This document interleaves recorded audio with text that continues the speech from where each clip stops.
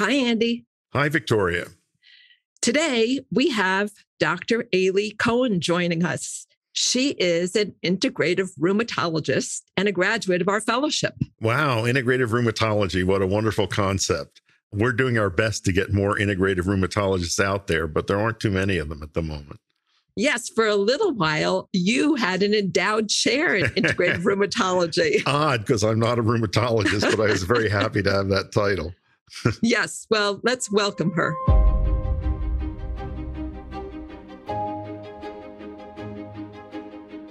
Dr. Aly Cohen is a board certified rheumatologist, integrative medicine, and environmental health physician who specializes in arthritis, immune disorders, and women's health.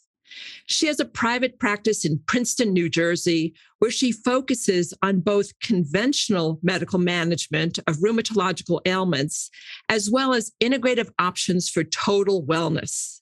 She lectures nationally on environmental health and has worked with groups ranging from the Environmental Working Group, academic institutions, and major corporations. Aly is the editor of Integrative Environmental Medicine and the co author of Non Toxic, the essential guide to living healthy in a chemical world. Welcome, Aly. Thank you so much for having me.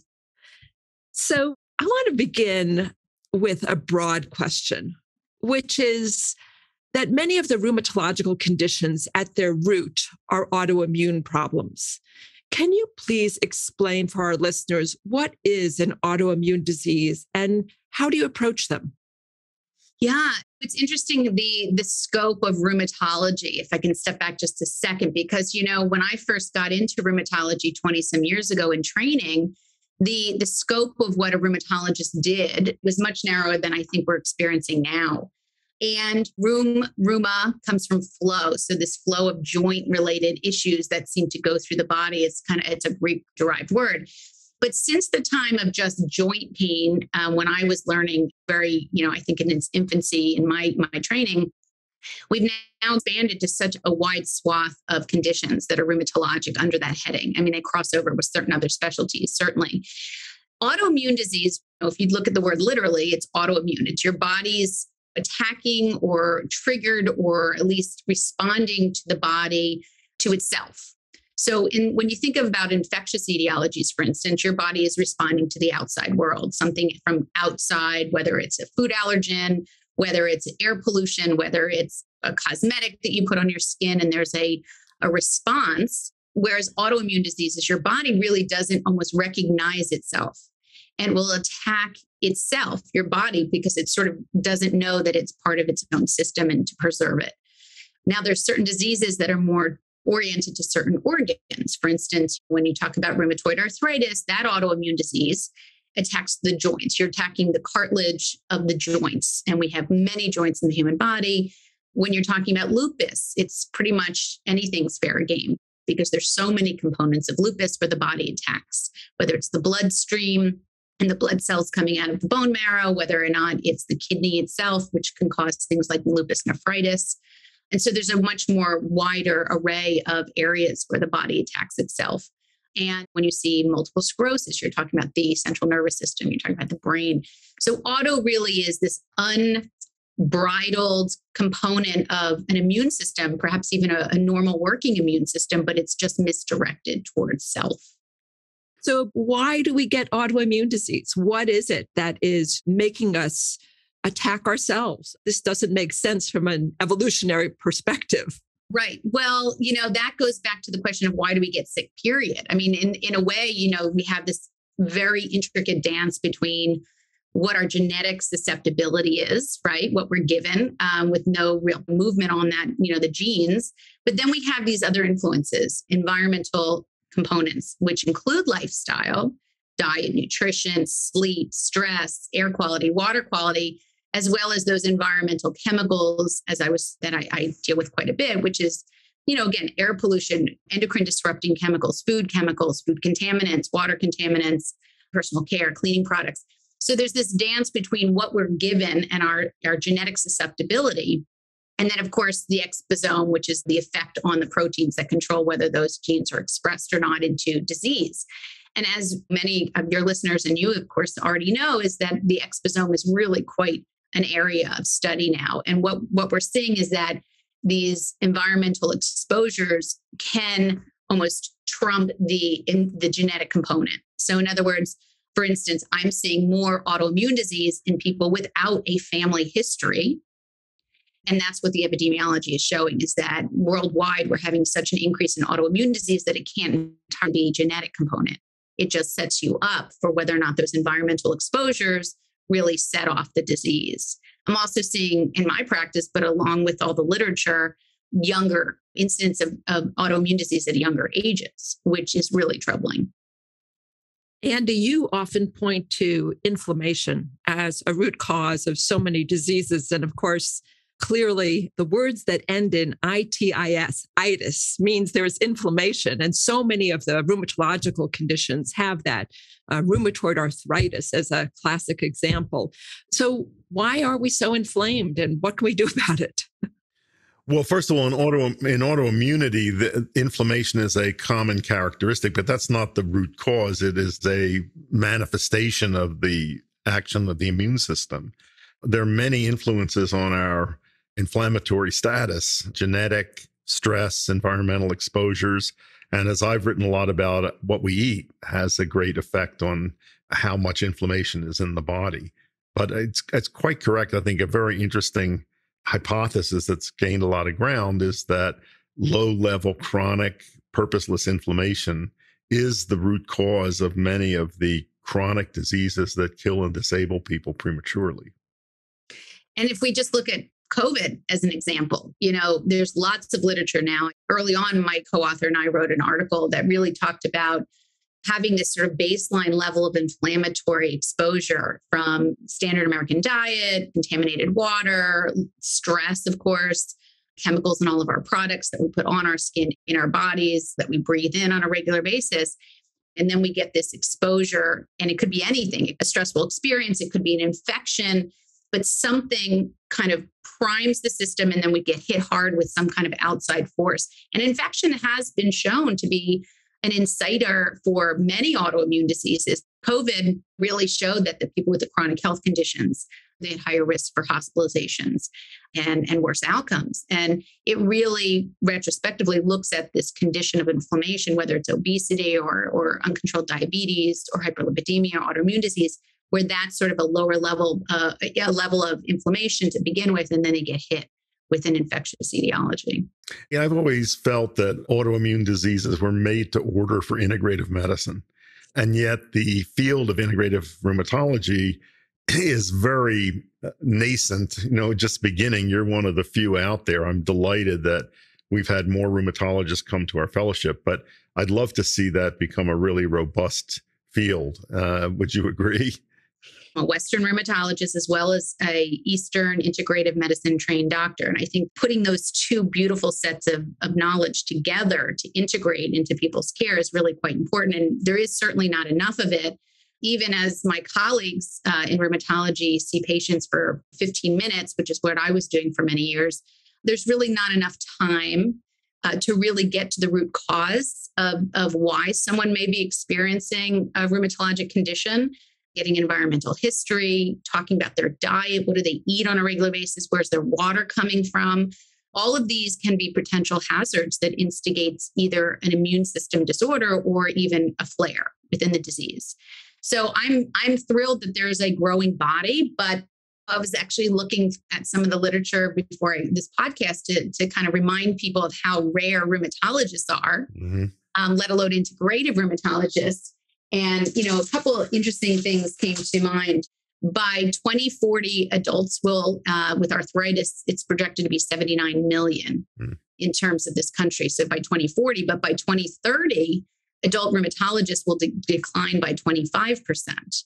Um, so there's this really worrisome mismatch between the supply and demand of rheumatologists alone, not just integrative, but but Western rheumatologists, and it's becoming quite worrisome because so many are planning to retire if they haven't already and or downsizing their patient loads. Many go into academics, many are foreign, you know, residents and fellows that may go back to their home country. So there's really a, you know, a, a worrisome situation, but integrative medicine is a set of tools that I think we're missing in Western medicine. And I feel so strongly about it that, you know, I'm shouting on mountaintops all of these other tools that we have besides just pharma. And can I just say, it seems to me that in rheumatological disorders, the mind body interactions hit you in the face. And yet, that's almost completely neglected in conventional rheumatology. You know, that classic onset of rheumatoid arthritis in a young woman uh, is a flare up of all joints within 24 hours of some major emotional trauma. I mean, it's just a classic story. Body of Wonder is produced by the Andrew Weil Center for Integrative Medicine at the University of Arizona, internationally recognized for innovative health and wellness programs, evidence based research, and clinical standards. The center offers listeners a wide range of free resources to live and maintain a healthy lifestyle, including online learning, meditations, and short videos. To find out more, go to azcim.org slash podcast. That's azcim.org slash podcast. So I'd love to move to some of the questions that our listeners have called in about uh, rheumatological conditions. The first is uh, from a listener who asked Can rheumatoid arthritis be treated by integrative medicine? So, what would you say, Aly? And then, Andy, I'll be curious to hear what you have to add. The answer is, is yes, with a caveat. In my practice, for instance, you know, you can have rheumatoid arthritis. We have to know what kind of rheumatoid patient you are, as an example. Is your body aggressively handling it? Or can we quiet things down? Do we have the time and the ability to work on things slowly for the first couple of months to really get diet in order, to get stress in order, to get the appropriate evidence based supplements? And I mean that evidence based supplements, not just junk that is really predominates the market. The idea is do we have this urgency? It's like triaging. Every patient gets triaged which type of rheumatologic patient are you? Are you compliant? Are you willing to do the work? And if you're willing to do the work, how fast can we get you feeling well and prevent destruction of your joints and dysfunction and manage fatigue, which is also a very subjective component, which no one really talks about? What's the time frame? Is it two months, three months, six months? When do we start a first drug? And will that support the lifestyle measures that you're seeing some movement on or not. And so it's really this sort of trial and error, but also watching the clock so that joint destruction and dysfunction and life quality of life is managed in that time frame because i'm i'm a supporter of medications. I mean in fact i use them all the time. And i think that biologics that came out 20 years ago when i was in fellowship and some of these newer ones coming out they're life changing but do they have to be used reflexively initially? That is where I have contention with that because I don't look at most patients exploding, where I would say for lupus patients, you have to be much more cognizant because their disease process is slightly different in terms of how it can roll out.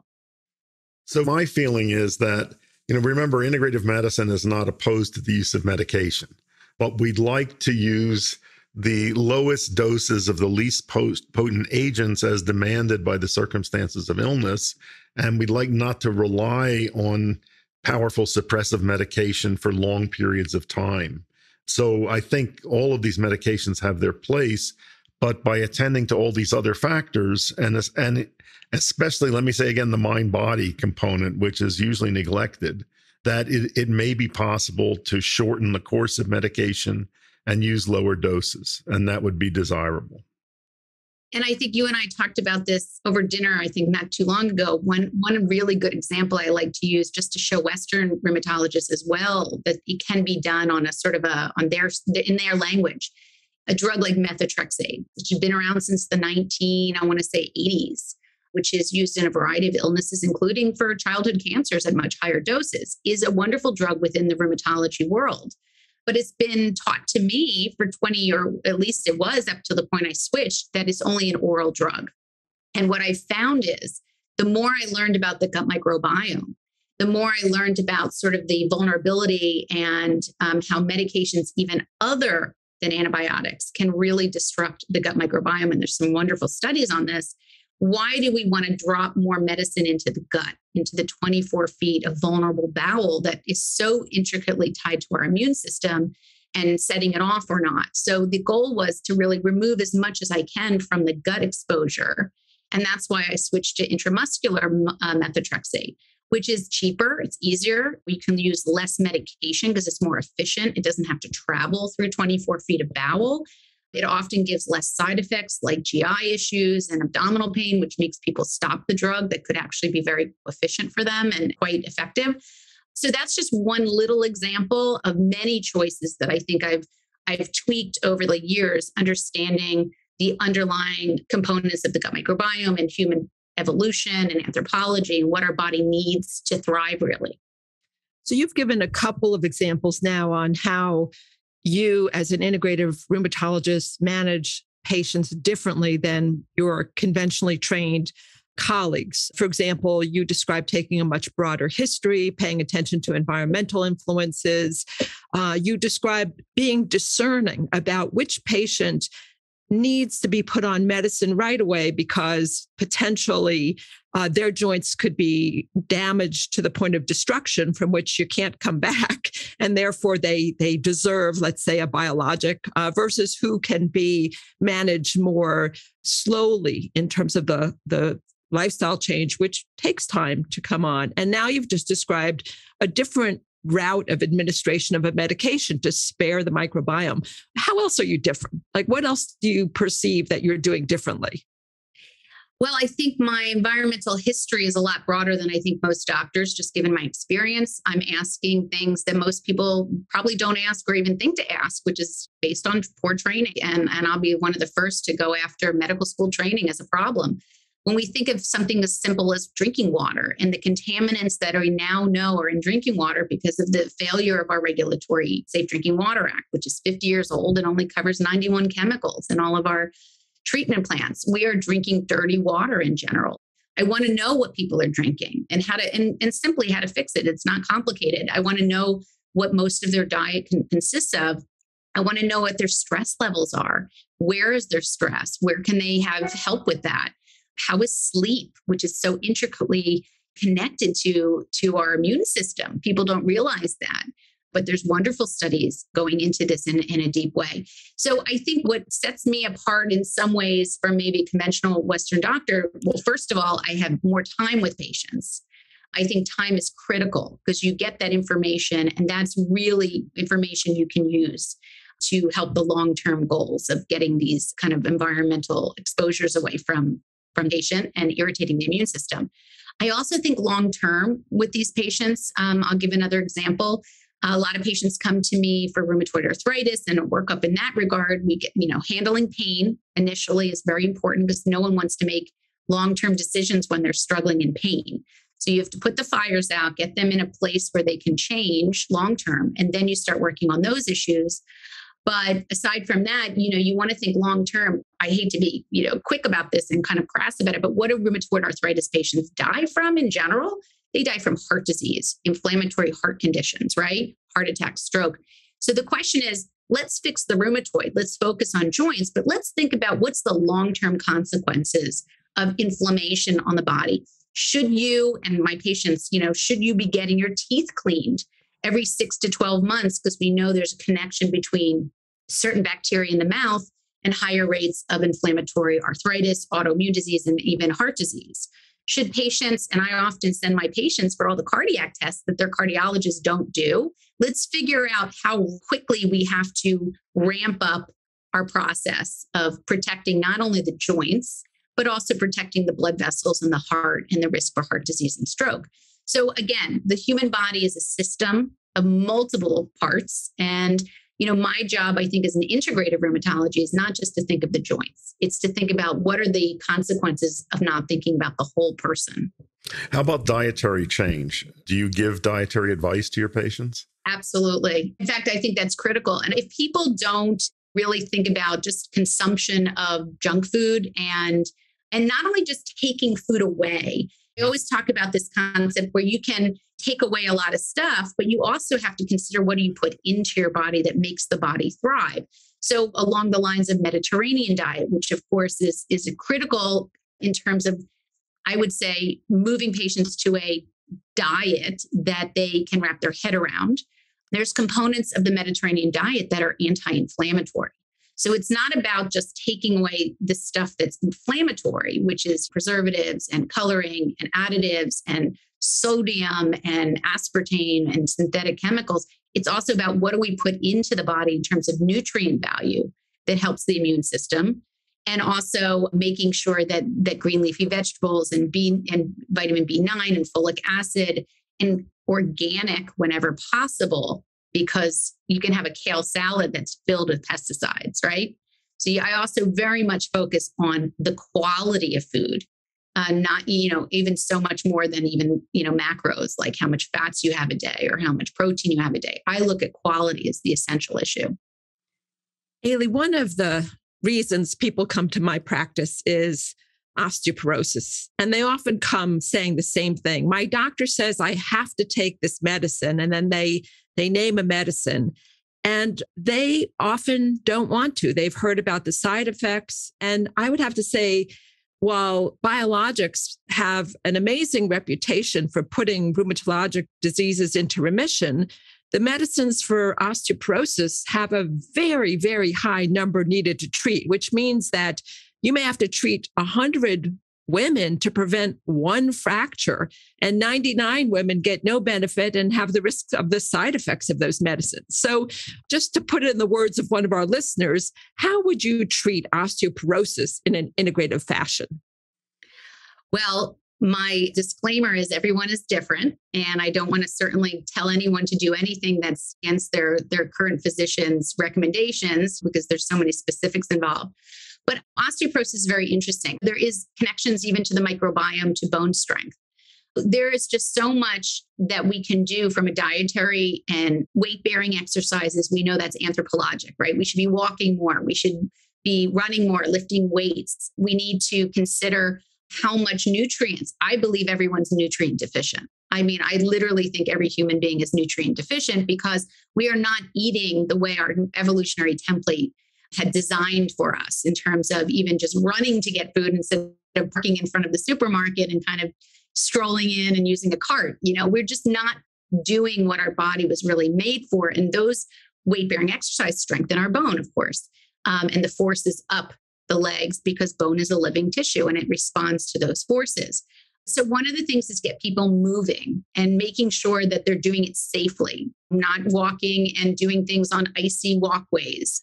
You can have two, say, have two women who get on a bone density uh, machine and they have negative 3.0 T scores, which is pretty bad, right?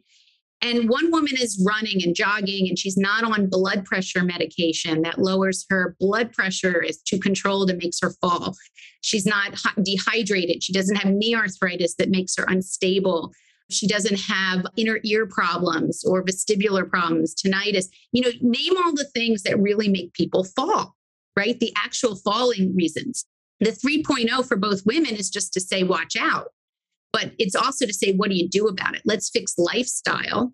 Let's fix nutrients. Let's get people moving. Let's lighten up on the blood pressure medicines that's knocking everyone down, like in the elderly, for instance. And let's think about those things as just a means of saving from fracture, because ultimately, osteoporosis, the issue is fracture. And if we can take some of those lifestyle risks away, then that 3.0 can be managed to some degree also with a proper bone vitamin, perhaps even strontium, which again, this is not for everybody. I want to make sure that that people talk to their doctors, but there are options that do the same thing as bisphosphonates, which is really to decrease the bone loss by osteoclast. So the idea is that you can obtain the same results, at least in my experience, by doing non-pharmacological methods, but you have to watch the patient carefully and you have to know their risks and it's very personalized. So the answer is yes, you can get away with not doing medications to a certain point, but you have to make sure that you're watching when those drugs may be necessary. One of the, I would say, nice features of autoimmunity and rheumatological disorders is that they have a much higher potential to go into remission than other kinds of disease, which tend to be progressive and not reversible. And uh, it always seems to me that it is helpful when, when working with patients with these disorders to remind them of that potential. Uh, you may not know exactly how to make it happen. You know, one thing that I do if I can do it is to introduce patients to other patients that have their disease who are now better. That can override a lot of negative thinking. I can't always do that, but knowing that potential is there, I think is very helpful. And I worry that long term use of suppressive medication may reduce the possibility of remission. You know, I don't know that for certain. That's my gut feeling, but I mean very long term use of powerful suppressive medication. Well, it's interesting having watched the pharmaceutical world over the last 20 years from when they were first introduced when I was in fellowship. And it was like the hottest, newest stuff was Kineret and Enbrel Humira, all the way to now where we have literally like a dozen choices for rheumatoid as an example. My experience is, is that, first of all, not all these drugs work on the same patient. There's no conscript where one drug is meant for one person. We are not there yet. So it's a lot of spaghetti on the wall to see which sticks, but more importantly, which one doesn't give that patient the side effects, you know, and you're watching for all those risks while you're doing these trials. But my experience has been that people do go into remission. And what's interesting is the pharmaceutical uh, the medical journals are now starting to show published studies that you can go off of certain biologics and re- maintain remission, as they call it. And that was never around in the last, I would say five years ago was the first time I saw one of studies. And I thought, boy, pharma's going to be pissed at this one because it's taking market share away by saying, hey, listen, you can get someone in remission and then you can pull it away and see what's what maintains them. And that's where integrative approaches will be most suitable because you've already incorporated them and they're likely to help maintain that remission. And you're right, people are very hopeless because of the way it's, it's presented in Western medicine. And you really hear a lot of people on social media are the ones that are not doing well, which are the people that talk the most about their issues, which is seems very natural.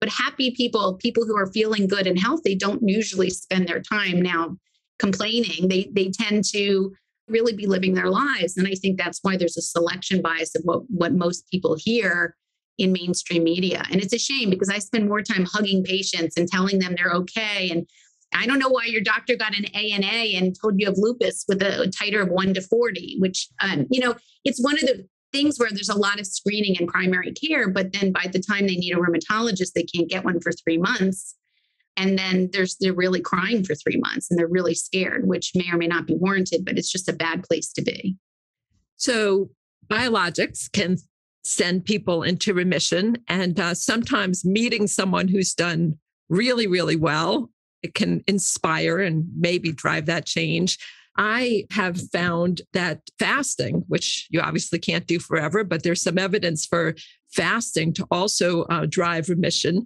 What else can be helpful? There's so many things. I really do focus a lot on the environmental component because to me, and this will be actually the topic of a book I'm writing over the next year, is really how do these environmental exposures, which by the way do include stress and poor sleep and light pollution and noise pollution, all the things that are not natural to the human existence as we've known it for millions of years, how do you you pull those away little by little? You know nothing's overnight. It's a journey. But how do you pull those away? Because each one of those potentially could be keeping you in flare or keeping your risks higher for developing autoimmune disease any any place on the spectrum. So certainly fasting can be very helpful. Certainly things like you know gluten-free diets a lot of Western doctors poo poo a lot of these, you know, hey, doctor, if I got rid of gluten, do you think I'll feel better? Oh, no, that's nothing. Hey, if I took some supplements, do you think I'll feel better? No, it's just expensive urine. You know, I find that that's just kind of ridiculous because if you're not trained in it, you shouldn't be making those statements, at least looking at both sides of the, of the literature. So yeah, I think that you know working and and removing these exposures that can cause harm to the immune system and have been well studied.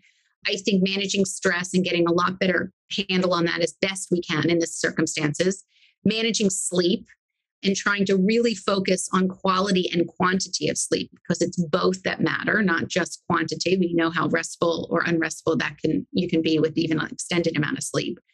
Then I, I really do add in very good quality supplements. And I go with that, you know, I show them labels and I teach them how to read them and I teach them all of the you know i give them the fishing rod so that they'll always have those abilities for for themselves to choose their supplements And then I tell them why adding in these things really have shown thousands of years of, of, of great historical benefit, whether it's curcumin that's highly, you know, vetted or omega-3 fish oil that has to be vetted because of course we know that's watered down and a lot of junk out there. Multivitamin, things like that, where you get a good quality multivitamin, especially if it has iodine. Iodine is very important to the thyroid, and we're not getting that as a nutrient deficiency now. It's not just vitamin D, which is very, you know, sexy in the news, but it's lots of other nutrients that we're really not getting that support good health, whether you have an autoimmune disease or not. And so I'm very focused on taking away the bad, adding in the good, and kind of seeing what the body responds because the body has a proclivity to heal. We know that. We cut our finger, and three days later, that finger is perfectly perfect thousands of times in a lifetime. Why can't that be also happening inside of our bodies as well? Victoria, I think you know that I reported two cases that I happened to see at the same time of uh, both middle aged men who had very severe advanced lupus. Uh, one was hospitalized and was not expected to live both of them had complete remissions, one as a result immediately following a religious conversion to some variety of fundamentalist Christianity, and the other fell in love and subsequently was married.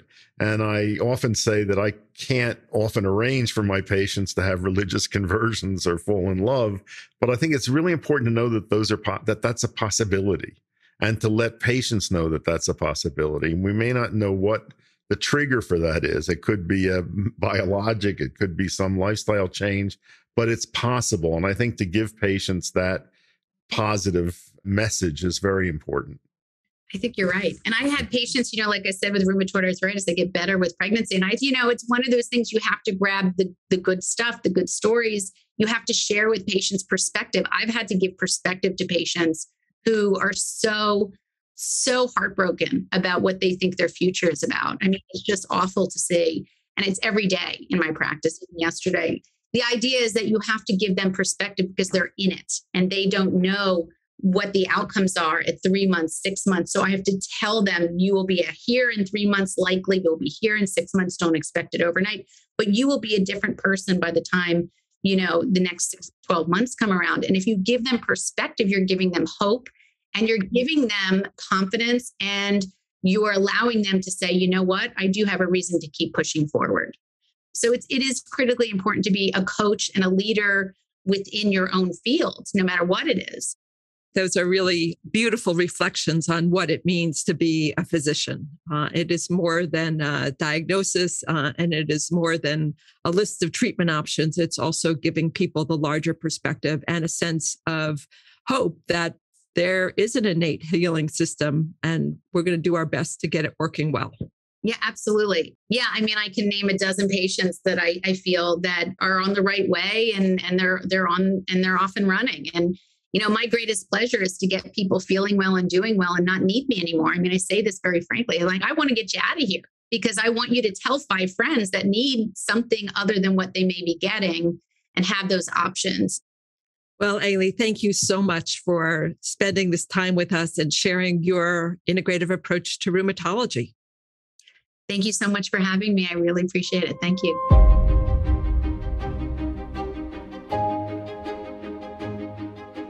Listeners, this is Dr. Victoria Maizes. We would love for you to send us your questions for Andy, myself, or for our guests. You can call us and leave a voicemail by dialing 520 621 3950. Again, 520 621 3950. Or you can submit a question by going to our website, azcim.org slash podcast. Again, azcim.org slash podcast. We will review your questions and try to answer as many as possible on our programs.